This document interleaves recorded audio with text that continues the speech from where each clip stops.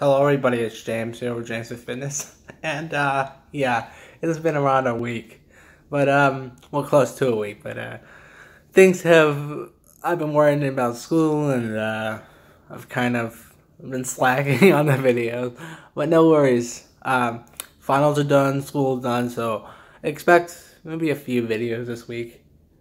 Gonna get back into it, but anyway, uh, today I wanted to talk to you guys about something that I was thinking about um, the other day, and that was the fact that why when you lift a weight, when you go to do a bench press, chin up, row, any type of exercise, why it is more difficult, the most difficult at the bottom, and easiest at the top.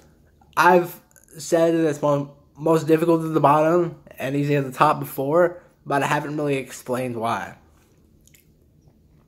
So we have our limbs, right? We have arms and our legs. We have a barbell, which is an external object.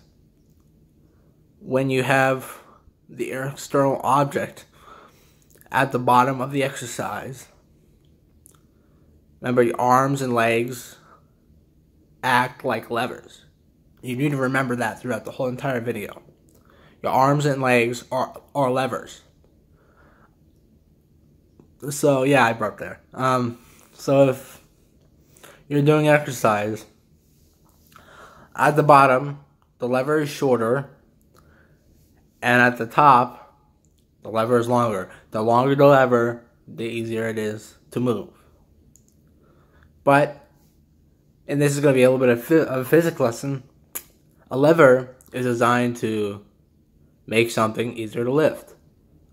And to lift something, obviously, with not as much force, but the force is distributed throughout.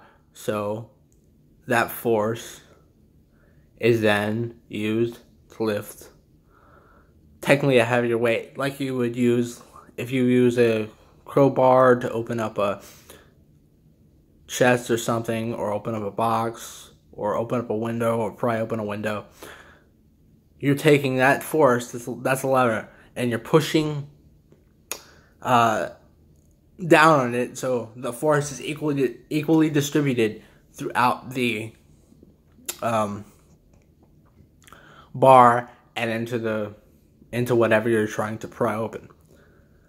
Same concept here. As you lower the weight, and come to a stop that's at the bottom.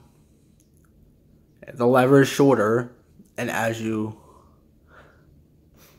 go higher and higher, the lever becomes bigger. So it's easier to lift. And remember, your lockout is the easiest point.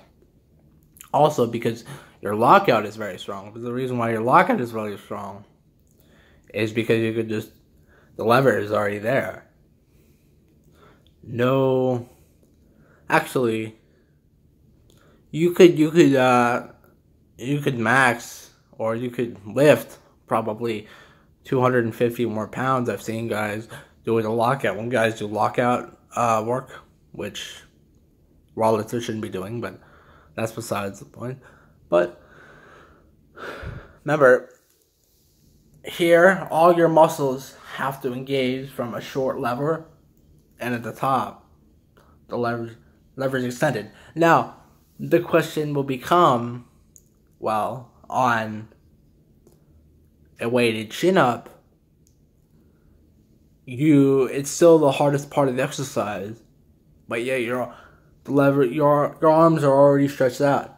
Yes, but remember, a lever works by applying force to the to an external object. Also, strength is the production of force against an external object.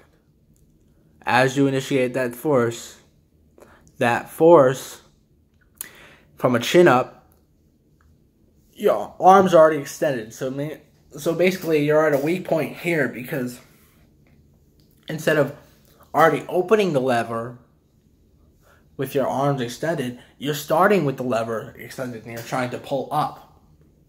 That's working against the lever. That's working against gravity. Remember, You're using a lever to pull against gravity, and that's exactly what you're doing. But it's kind of like the reverse way because you're still in a lever, you're still utilizing a lever, but you don't have you're the external object basically. But even though your strength is being provided to the chin bar or whatever, you're basically an external object. The weight is below you. You have to pull yourself up. That is the weakest biomechanical position out of all lifts is the bottom. Or maybe some oddball lift that um, no one does where the easiest or the hardest part is not the bottom. For example, um, if you do if you do like um, crap, uh, what's it called? Um, equip benching. Um, if you do equip benching, then the it's very very easy at the bottom because the shirt springs you out of the bottom. But if you, but as you go up top, um, as you start to press up, it actually becomes harder because there's less tension on the shirt as you're pressing up, but there's the most tension at the bottom. And then obviously the lockout is still the easiest